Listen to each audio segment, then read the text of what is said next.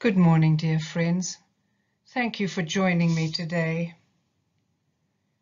Have you ever imagined a world in which there is no pain and suffering? One's first reaction to this question tends to be, oh, wow, what bliss. But even more thought provoking, have you imagined a world without joy? And our response to this is probably mostly, oh, wow, what hell. But if, if one thinks about it, a world without either of these two sources of emotion provides us with a very bland, dull, and senseless world. In fact, a godless world.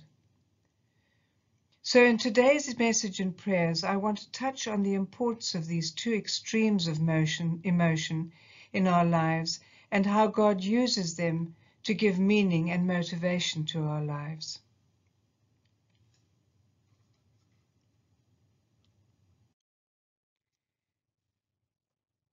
The reading I have chosen today is from Jeremiah 17, verses 7 to 8. But blessed is the one who trusts in the Lord, whose confidence is in him.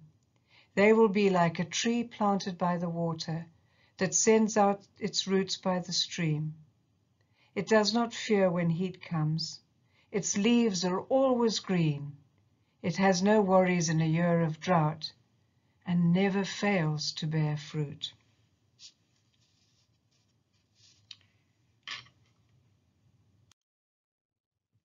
These verses from Jeremiah send us one of so many very positive messages about the nature of our beloved triune God and what we are assured of if we have faith and trust in Him. But let me first return to the emotional continuum that God has created within us from the one extreme of profound sadness to the other of profound happiness or joy. As I said earlier, if God had created us with the emotional capacity to only experience neutral emotions, how horribly dull life would be. It would be rather like viewing the world through a grey, white, and black lens without colour.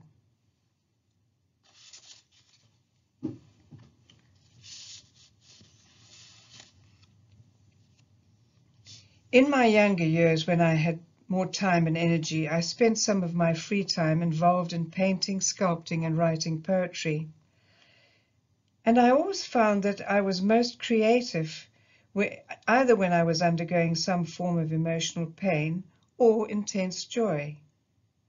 I am sure many of you can relate to similar experiences in your lives. So it is easy to understand how a loving God such as ours would create contrasts of joy, happiness, and love.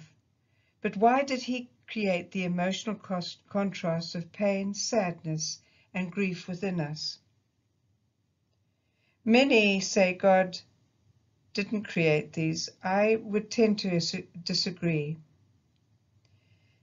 They are not really emotions we would associate with someone who loved us.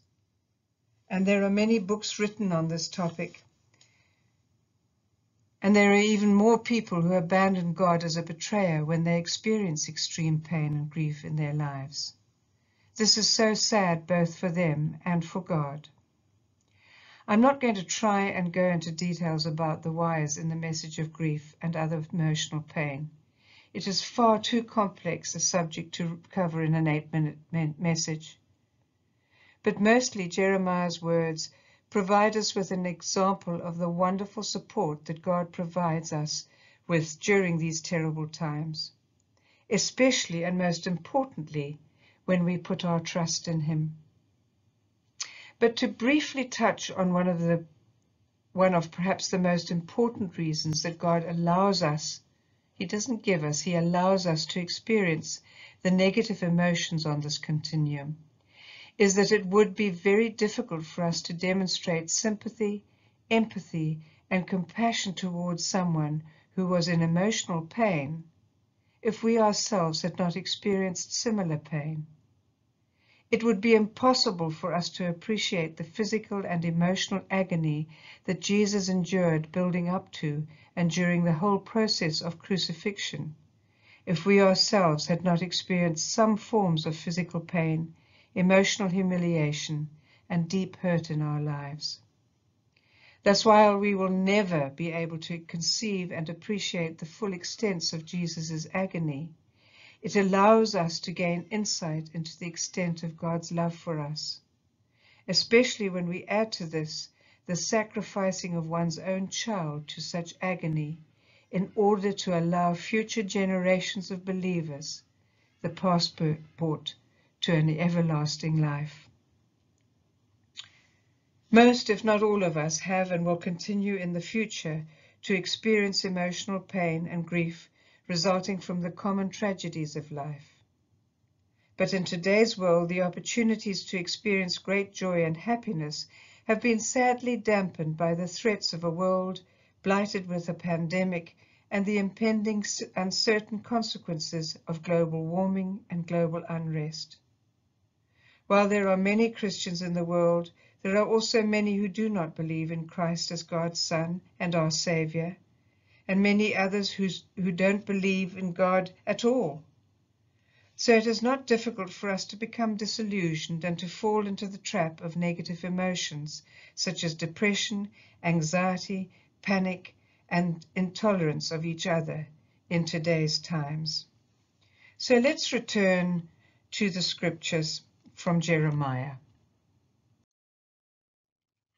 In these introductory verses, we are assured that if we love and trust and have confidence in our God, then the rewards, even in the darkest of times, far exceed the punishment we receive from negative emotions. I don't know about you, but I am passionate about trees. They symbolize so beautifully for me the glory of what we should become if we are rooted in God. Each has its own particular beauty as created by God in His image. They stand green and powerful, reaching up to the heavens in praise to their Creator. But they are also firmly rooted in the soil of faithfulness, the Word of God, and trust in Him. They may experience the discomfort of heavy winds and the thirst of droughts, but most importantly, they are able to withstand the onslaught of the evil one when others around them who are not so rooted may be blown over or wilt in the drought of faithlessness and hopelessness. But most importantly, trees rooted in God never fail to bear fruit that provides sustenance for so many other living creatures around them. So let's pray. O oh, beloved God, Thank you that we were created so perfectly that you have given us the opportunity through our senses and emotions to experience the full extent of and variety within your creation. And in so doing to be exposed to the mountain tops of joy and the valleys of despair. In this way you have created in us a growing understanding of and empathy towards those around us who may be suffering and in need. May this gift become ever stronger within us, Lord. Thank you that through our growing understanding of the wonder of you and your love for us, we become more rooted in our faith and so are able to stand up firmly against the threats and challenges that life throws at us without falling and succumbing to them. May we become more and more beautiful to those who gaze upon us as we reflect your glory through our words and actions, so that they too may desire to learn where that inner beauty comes from and to reach out and reap its rewards. Most importantly, beloved Lord, may your glorious role model, Jesus Christ, and the richness of your word become the compost upon which we bear fruit so that we can, can, through you, feed others through the fruit we bear. We ask this all in the name of the Father, the Son, and the Holy Spirit. Amen.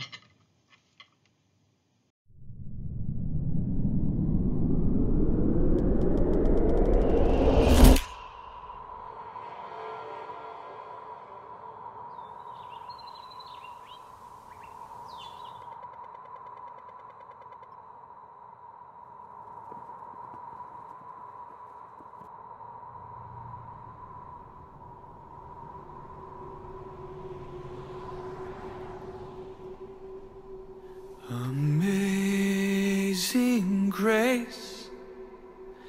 How sweet the sound. 我罪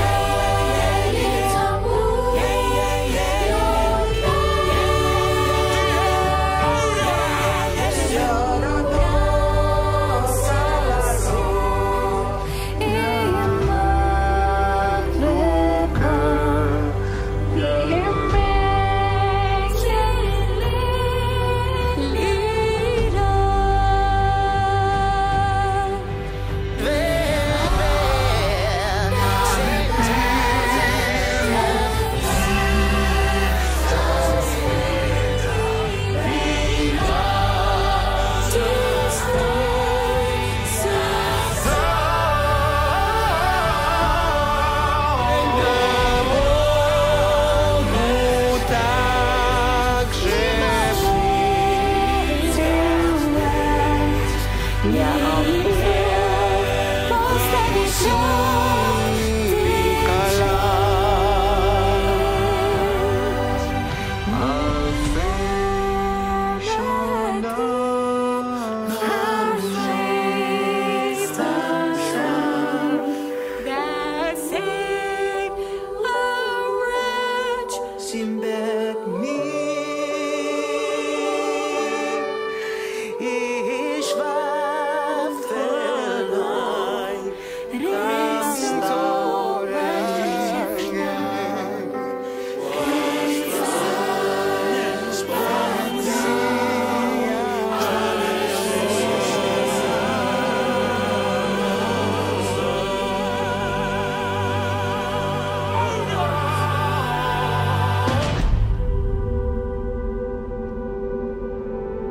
So much has changed in our world lately.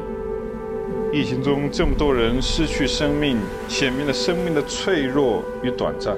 Pero la asombrosa gracia y amor de Jesús es más fuerte que la vida y la muerte. Wo auch immer du bist, ruf seinen Namen an. Jesus. Jesus. Jesucristo. Jesus.